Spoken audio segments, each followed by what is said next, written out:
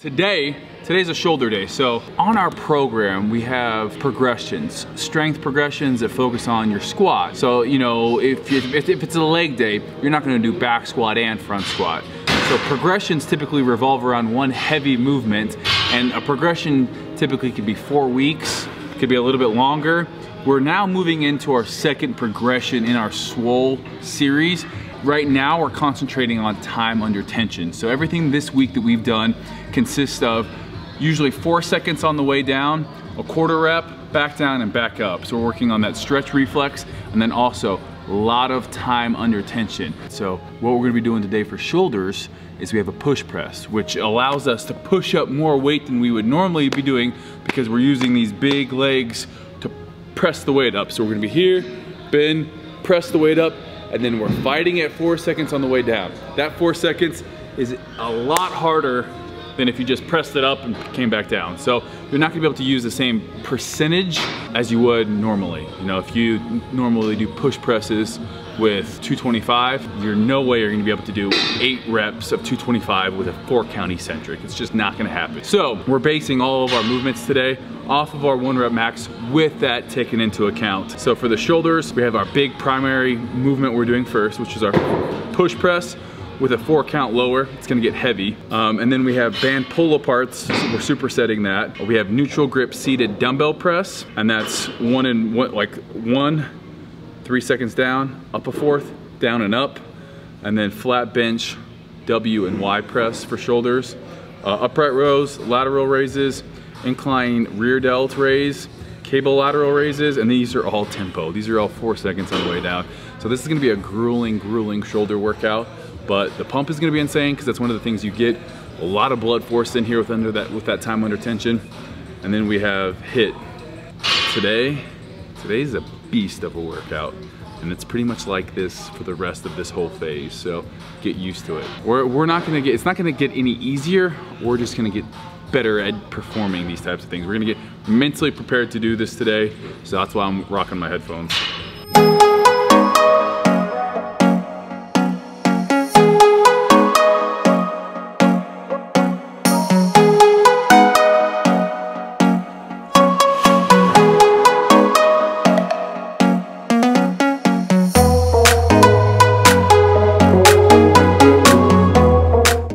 The days I don't warm up, I can now tell. So it's been about four straight weeks of solid warm ups. I can definitely tell.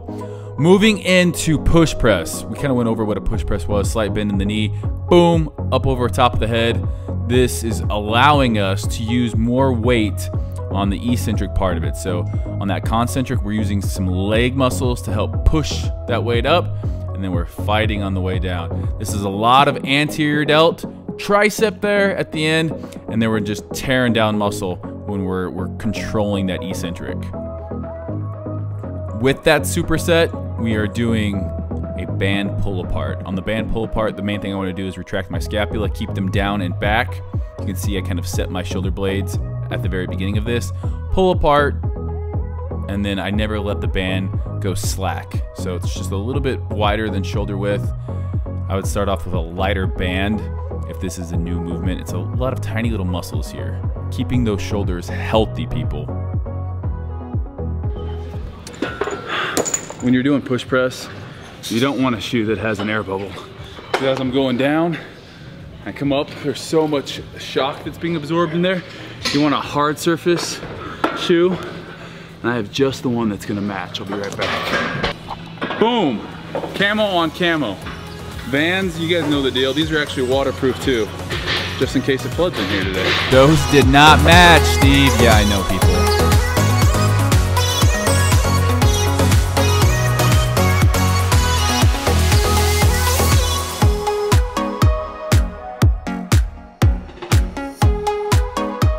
I won't let you fail. So I got my man. He's from my he's from my high school back in Idaho.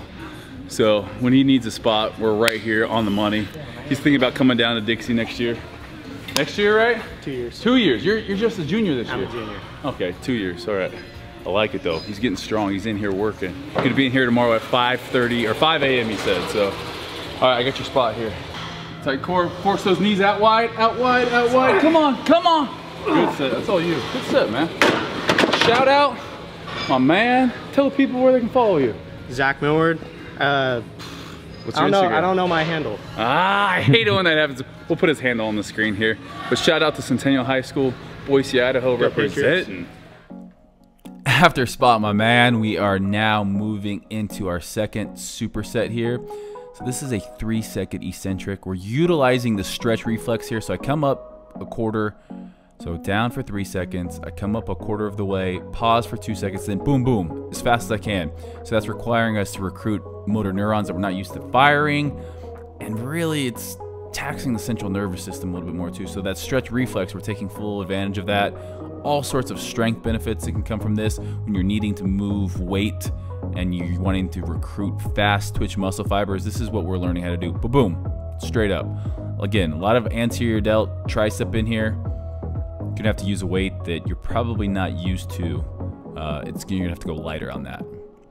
And this is our, our WY raise, so right to a W right there, and then press straight out. A lot of trap three here. If you have any shoulders in, impingements or imbalances, this one is really gonna show those. So come up straight, rotate, and up. I use a slight incline on this.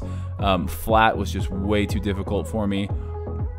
Hardest thing for me is keeping my butt down on these. So rotating, and this was probably a little bit too heavy for me. So you don't need to go heavy on this. This is a great shoulder health movement.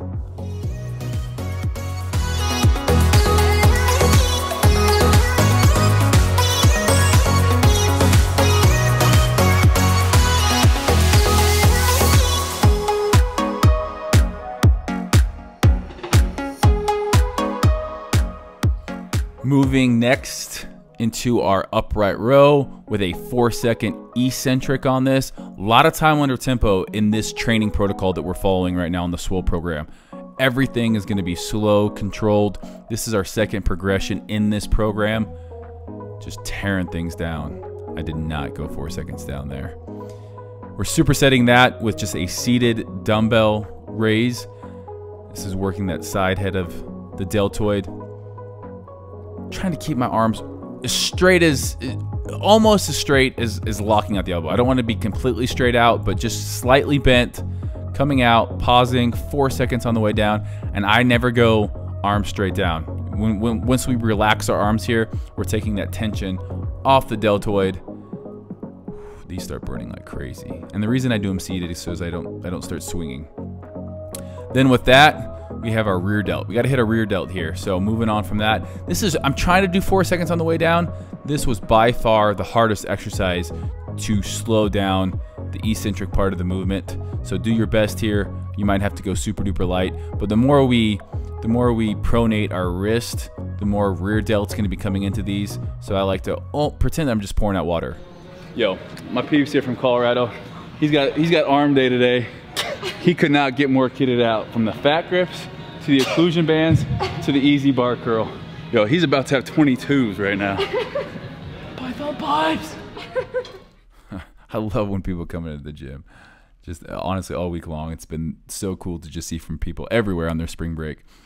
Next up, we have behind the back lateral raise. So again, this is working that side deltoid, fighting things on the way down. Four seconds. We have 10 reps here. I'll put the description to this workout in the link below. People really liked that last time. You can see I'm just leaning away from it.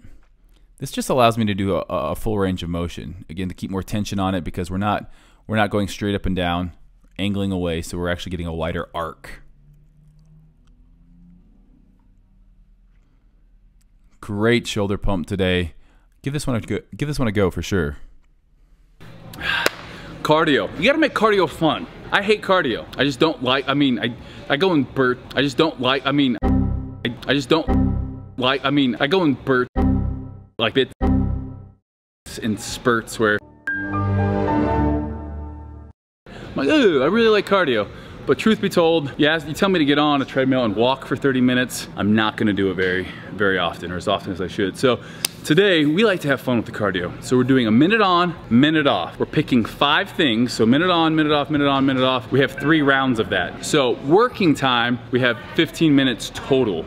So we're gonna pick five stations and we're gonna go through those stations, three different rounds. Stations are box jumps, sled pushes, ball slams, tire flips. Where's my tire at? Oh, right there. And then what are you guys doing? Burpees? flexing. Flexing. A minute of flexing? Let's see, let's see. A minute on. Best flex. We got push-ups for one minute. Can you do push-ups for a straight minute? Uh, if you're next to me, let's do it. That's pretty good. If you, if you can do a full minute of push-ups, that's not easy. What do you, what's your favorite form of cardio? My favorite form of cardio. Yeah, like if you, if you Battle ropes.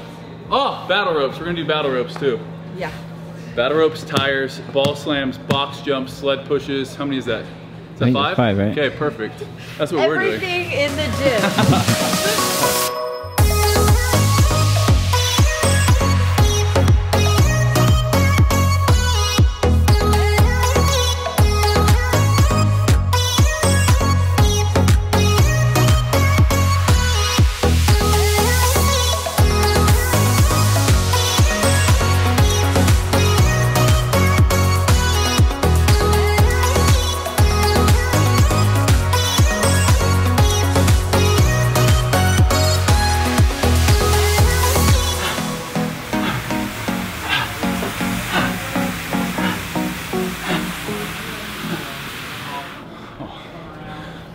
let's this.